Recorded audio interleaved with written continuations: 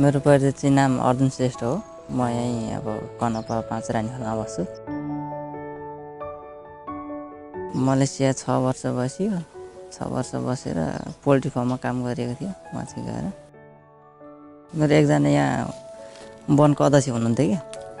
उहाँले भन्नुभयो ल भाइ यसरी तालिम आएको छ पचास दिने तालिम।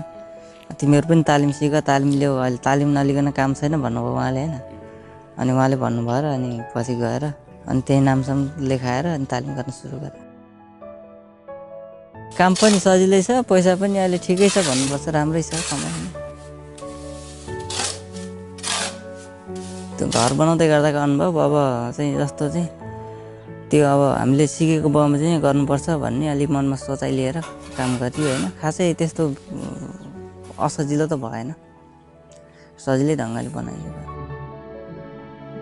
सबै अब गाउँले विश्वास गरेर मलाई चाहिँ एकदम खुसी नै लागेको छ अहिलेसम्म। एउटा तालिम सिकेर होइन अब सक्षम डकर्मी भएर काम गरिएको छ। म खुसी नै छु अहिलेसम्म। पहिलेमा अब जस्तो तपाईँको होइन त्यो लिन्टन हाल्ने भयो। हरेक कुरामा चाहिँ त्यस्तो हुँदैन थियो। अहिलेमा धेरै कुरामा फरक छ अहिलेको पहिलेको र अहिलेको। र त्यसले गर्दाखेरि तालिमको आवश्यकतै पर्ने रहेछ।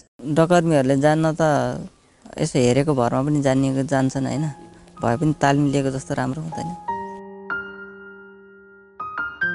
विदेश गएर नि कमाउने भनेको महिनाको त्यही पच्चिस तिस हजार हो।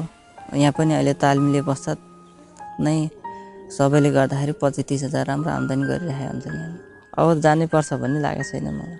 यहीँ नै उहाँको जति कमाइ यहीँ नै गर्न सक्छु जस्तो लागिरहेको। कान्छोले खोज्ला जस्तो छैन ड्रेसको लुगा बच्चाहरू पढाउनलाई घर परिवार चलाउन खर्च पुगिरहेको छ भनौँ तालिम लिएर अब तालिम लिइसकेपछि हामीले जानेको सिप देखाउनुपर्छ गर्नुपर्छ सक्षम बन्नुपर्छ आफ्नो टोलको भयो गाउँको भयो विकास गर्नुपर्छ भन्न चाहन्छु म चाहिँ।